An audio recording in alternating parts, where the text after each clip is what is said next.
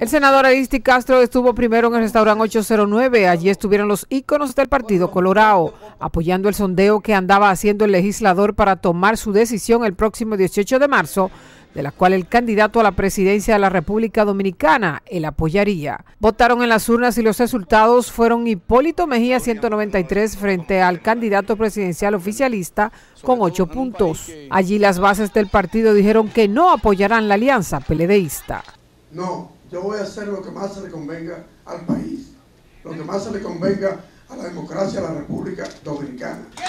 El senador anunció tres grandes actividades. La primera de esta, una gran concentración que realizará en su provincia, la Altagracia, la segunda en el Palacio de los Deportes, en la capital, y la tercera en la ciudad de Santiago.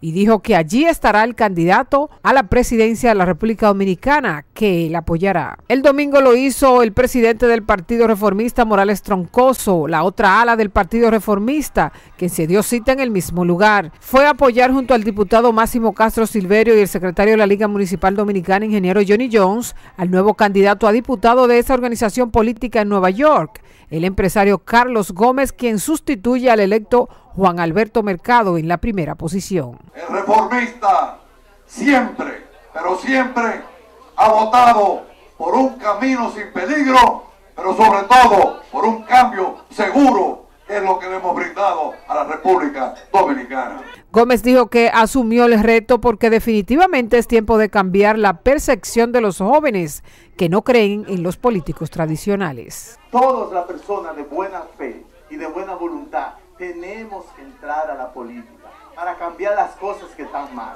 En el acto de Gómez no hubo ninguna representación de las altas instancias del Partido Balaguerista en la ciudad de Nueva York. Finalmente, el Partido Blanco realizó un bandereo de calentamiento de sus miembros en la avenida San Nicolás y 181, encabezado por sus altos mandos federales y locales de Nueva York, para incentivar a sus miembros en esta campaña política. Estuvieron presentes Manuel Durán, coordinador internacional, José Plasencia, coordinador local de Nueva York de campaña, el doctor Rafael Lantigua y el coordinador federal Luis Eludis Pérez. Ambos por separados dijeron que la mejor encuesta la dará el pueblo dominicano en las elecciones venideras, cuando dé un voto de castigo a la corrupción que mantiene desde el poder el partido oficialista.